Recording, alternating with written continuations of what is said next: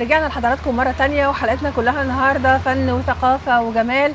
وأحد الفنون الجميلة اللي إحنا بنستمتع بيها هو فن التصوير. النهاردة معانا المصور العالمي خالد أبو الدهب وهو الحقيقة انتقل من المحلية العالمية ما شاء الله بسرعة الصاروخ وحصل على العديد من الجوائز من أنحاء العالم بنفخر بيها جدا.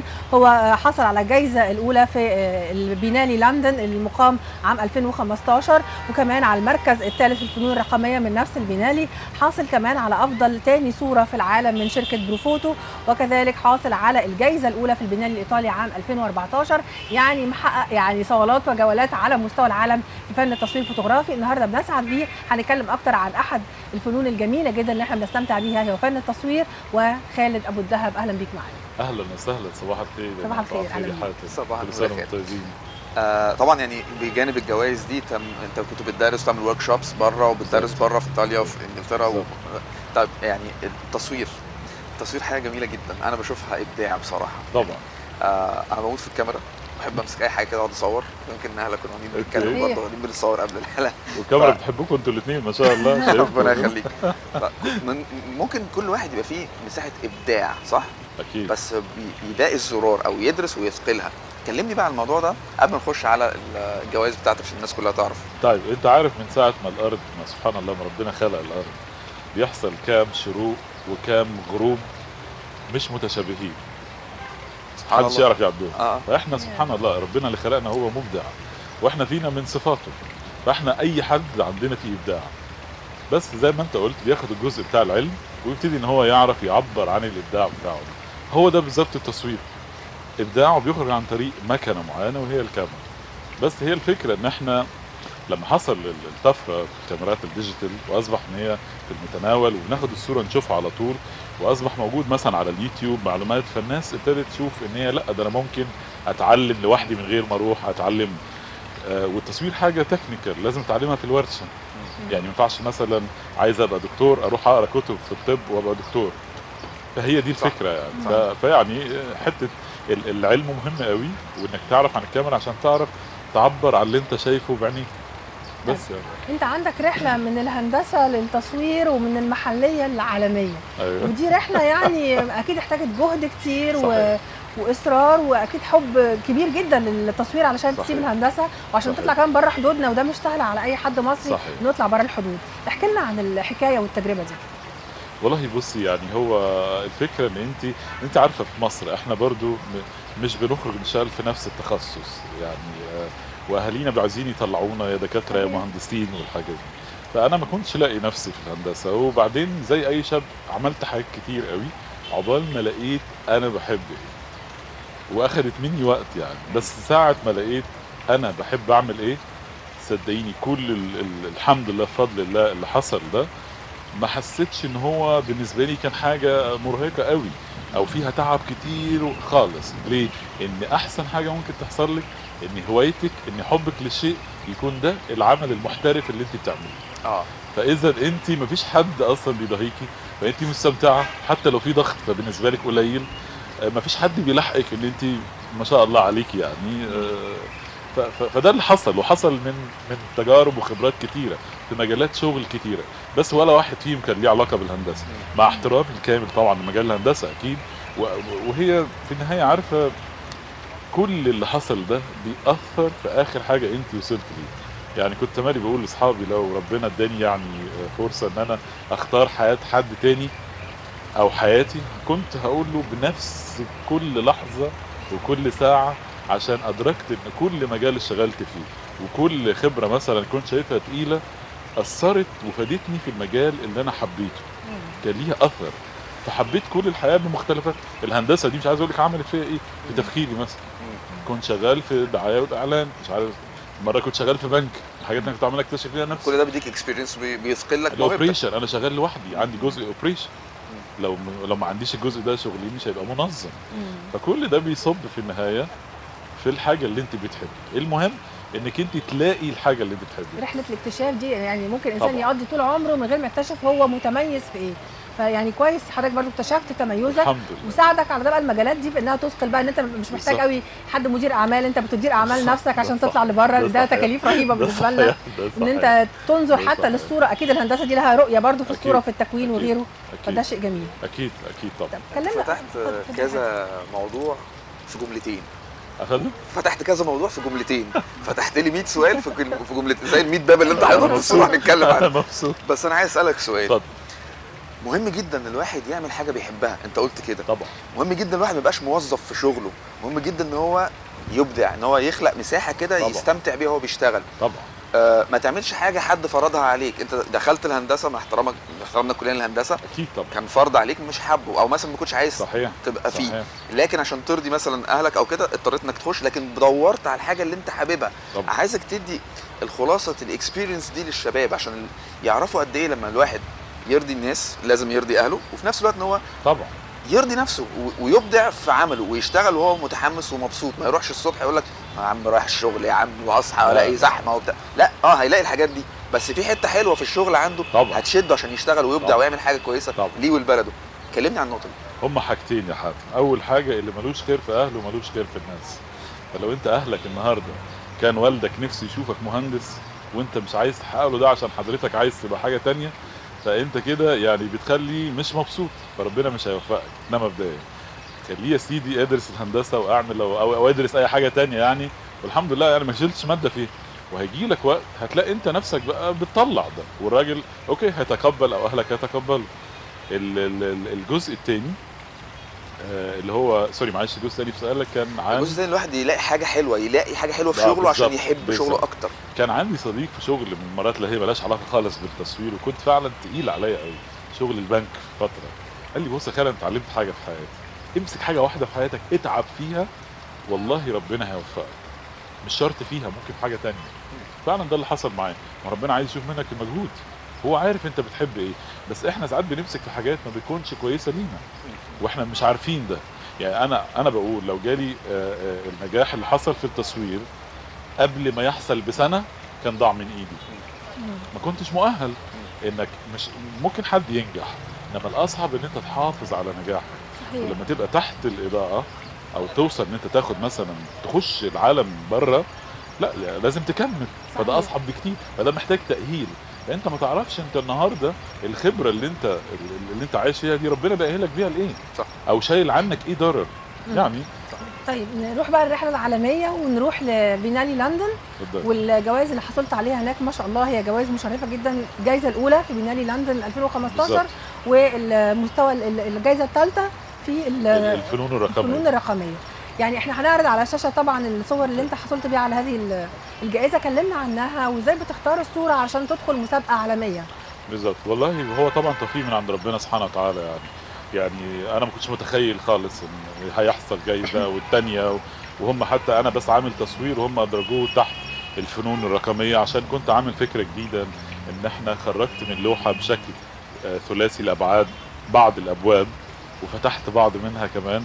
فأدرجوا ده برضو تحت الفنون الرقمية وبيبقى اسمه كولاج وادوا له كمان جايزة. بس أنا كان في دماغي بس تصوير وقلت أعمل فكرة مختلفة. فكرة افتحوا الأبواب هي كانت كونسبت أو يعني فكرة أقصد بيها إن إحنا نفتح أبواب مساعدة للناس حتى لو انت تسمع لهم أو كده. وعبرت عنها بشكل برضو إن في أبواب وراها حيطة سد أو نفس الباب مقفول. في أبواب فعلا حقيقية أبواب مساعدة. زي ناس مثلا ممكن يخدعوك يقولوا لك إحنا هنساعدك وبالتالي ما بيساعدكيش. وفي ناس فعلا صادقين في في في, في, في, في نية المساعدة دي. فكان ده الحدث. كنا 133 فنان من جميع أنحاء العالم.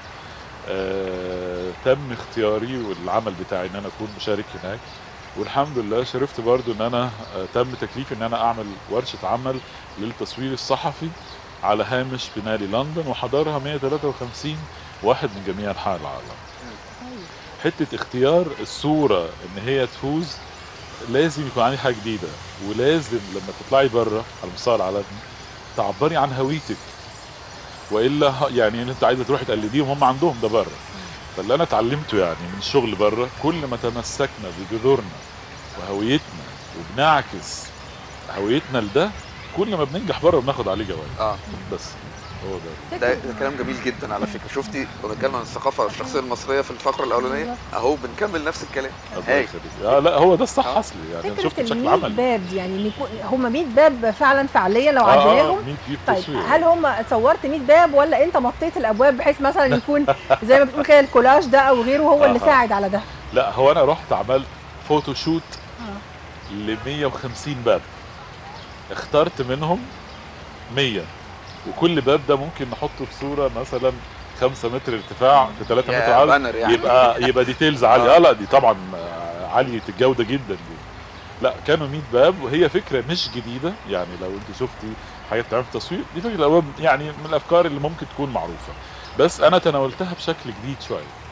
إن أنا تشوفي الباب مفتوحة وراها بيبان مقفولة تشوفيها ثلاثية الأبعاد. هي الصورة اللي إحنا شايفينها معانا دلوقتي على ال- بالظبط آه أيوة. ده جزء يعني. آه بالظبط. تمام. بالظبط.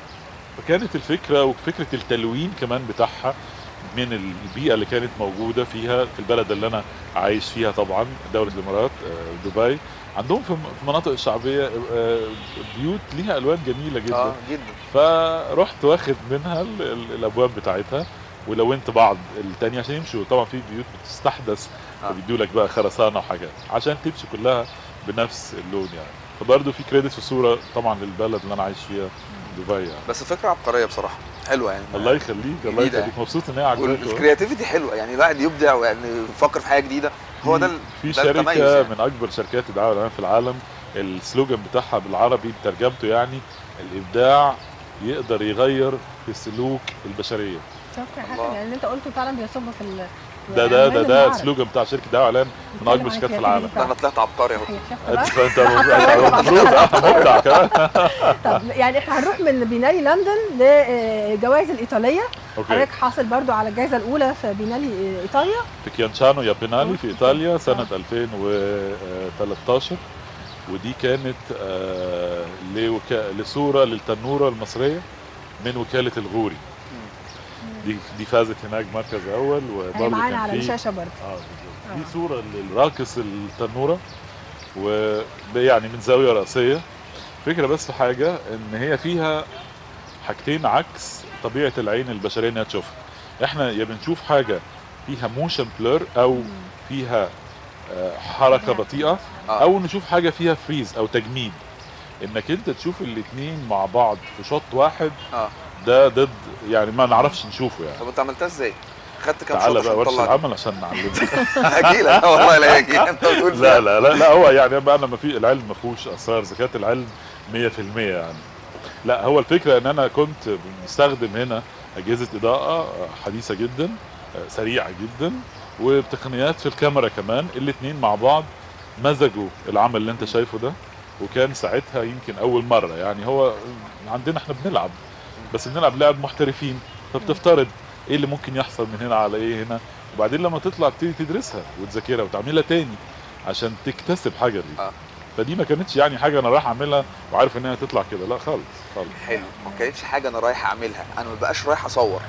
أنا هي الحاجة لا، بتطلع لا. بتشدني ولا لا لا هو أنا كنت رايح؟ أصور طبعا آه. وكالة الغوري والناس وتصاريح وال... والإضاءة لا الشوط ده بالذات أنت كنت رايح تعمله هو في الأول ولا كنت رايح تدور على حاجة أنا كنت رايح؟ وكالة الغوري آه. بالفلاشات بتاعتي عشان أنا أنا من أكتر الأزمنة اللي بحبها هي الأجزاء من الثانية فأنا رايح عندي تصور للحياة دي بس ما كنتش صايغها آه. يعني الجزء من الثانية ده هيحصل فيه إيه بالعكس كمان لما عملت فريز وتشوف التنورة ثابتة والراجل وهو في عز الإلهام والإبداع آه. ثابت ده إحنا عمرنا ما شفناه. صح. فلاشات الكاميرا بتاعت العاديه عمرها ما تديلك الثبات ده. فرحت شفت عالم أنا كنت متخيله. بس دي كانت من الحاجات فعلا أنا ما كنتش عارف. بس طلعت ورحت بقى مذاكرها تطلع إزاي ودلوقتي أعرف أعملها حاجة من التقنيات اللي ممكن أعملها يعني. أنت كمان يعني ننتقل بقى لشركة Profoto دي برضو شركة هامة جدا في مجال ال- التصوير. دي من أكبر شركات آه، اللي بتصنع معدات إضاءة في العالم. آه. دي يعني برضو أنت حصلت من خلال معارضها على أفضل تاني صورة على مستوى العالم. دي كانت أول جايزة في حياتي. آه. دي دي ليها ليها معزة خاصة جدا. إن هم ساعتها كانوا عاملين آه، إصدار للمكنة بتاعت الاستوديو الفلاش دي اللي هي أسرع فلاش في العالم. بيعمل 20 فلاش في الثانية. انت متخيل؟ يعني ما فيش طبعا بني آدم هيعرف أو فيش كاميرا تصوير طبعا. كانت تاخد 20 shot في الثانية. فده بيتيح لك فرصة إن أنت تجمد الزمن بشكل غير طبيعي. يعني لو في انفجار بالونة مية تعرف تشوف الكريستالة بتاعت الضوء ال- سوري ال- المية وهي بتنفجر بتنفجر آه. بالظبط. آه. أي حاجة حد بيشوف كورة فيها مية تعرف تعد قطرات المية اللي خارجة. واخد بالك إزاي؟ فده لما عملوا ال- المنتج ده طرحوا على جم- جميع أنحاء العالم. مسابقة المصورين ذوي السمعة إن هم يشاركوا يعني وتنافسوا يعني. هي الصورة اللي حضرتك يعني عرضتها كانت صورة إيه؟ إحنا هي معانا على فكرة عشان يجيبوها لنا على الشاشة. هي صورة البيضة الطايرة. أيوه. واحدة ماسكة بيض كده. هو الفكرة أيوة، إن هم أيوة. كانوا آه بالظبط. هي بتقلب البيضة تقريبا؟ آه بالظبط. هو كان كل الناس المشاركين طبعا بيعملوا سوائل وكده. فأنا فكرت نعمل حاجة بشكل جديد شوية. فقلت طبعا آه، البيض بتاعنا ممكن يكون آه، شكله حلو بشكل مختلف. فقعدنا ننطط الموديل وعايزين البيضة تطير. استهلكنا ثلاث كرتونات بيض تقريبا. إزاي ثلاث بيضات وواحده بس اللي بتطلع والتاني يعني واثنين ثابتين. عملتوها. إزاي دي؟ ما هو دي بقى على الحرف ويعني انت بتكتشف خبرة إن البيض يطير من ال- والشط يعني حاجة حاجة جميلة. إحنا بنكتشف أهمية العلم لأن فعلا واضح إن ده مش هو بس موهبة. صحيح صحيح هي فعلا صحيح. دراسة و- وعلم علشان تطلع كل التفاصيل الصغيرة دي. صحيح صحيح. ولما الواحد بيشوف مثلا صور مرسومة يعني فن رسم يقول يا سلام زي ما تكون صورة فوتوغرافية. أنا وأنا بشوف الصور الفوتوغرافية ابو يا سلام زي ما تكون مرسومة. صحيح. ففعلا وكأن في كده يعني مزج بين فنانين هايلين جدا ده بيدل على فعلا خصوصية وإبداع مش يعني هم- مش صورة فوتوغرافية عادية. هم واحد يعني التصوير والرسم هو واحد هو إبداع. أنت بتصيغي حالة الإبداع عن طريق ريشة okay؟ أنا بصيغ حالة الإبداع عن طريق الواقع اللي موجود. بستخدم حاجات ما عنديش عليها control واخدة بالك؟ فيمكن ده شوية جزء فيها ال- الخاص بال technology والحاجات دي. انما ببقى شايفها ببقى حاسسها زي ما الفنان عايز يطلع الصورة ويرسمها في ريشه بس أنا برسمها باداه تانية يعني. تمام. طب خالد قبل ما نختم يعني في عجالة كده عايزك تدي نصيحة لأي حد مبتدئ أو أي حد من الأطفال أو الشباب عايزين يبقوا مصورين professional أو يعني يلبوا حاجتهم في التصوير يعني بيحبوا التصوير عندهم هواية جميلة عايزين يدخلوها دي تديهم وتقول لهم حاتم يعني. زي حالاتي. كده آه لا انت هتيجي كورسات عندي خلاص أنا جاي دارس ماستر تيجي تدرس عندي آه ده أجيب خلاص. كاميرتي وأجي. خلاص آه لا تمام. لا هو الفكرة العلم مهم جدا ولازم تتحروا بتاخدوا المعلومة من مين. النهارده كل حد بيتكلم في التصوير النهارده كل حد بينزل على اليوتيوب. طبعا في ناس أكيد يعني بيتكلموا كويس ومتعلمين كويس بني آدمين ال- ال- النسبة العظمى من الناس ما فيش رقابة على الموضوع. فلازم تتحرى إن أنت ما تاخدش معلومة غلط. إن معلومة غلط دي لو أنت طريقك كده بتمشيك كده وبتكتشف بعد سنين. يعني أنا مثلا من الناس علمتها بعد ست سنين في تصوير وأنا بعلمهم. قال لي معقول هي دي تعمل كده؟ قلت له آه طبعا. قال لي النهارده أول يوم ليا في التصوير بعد ست سنين في التصوير. من ضمن الأمثلة. فلازم تتحري تاخدي العلم من مين ولازم تروحوا تعلموا تصوير في الورشة.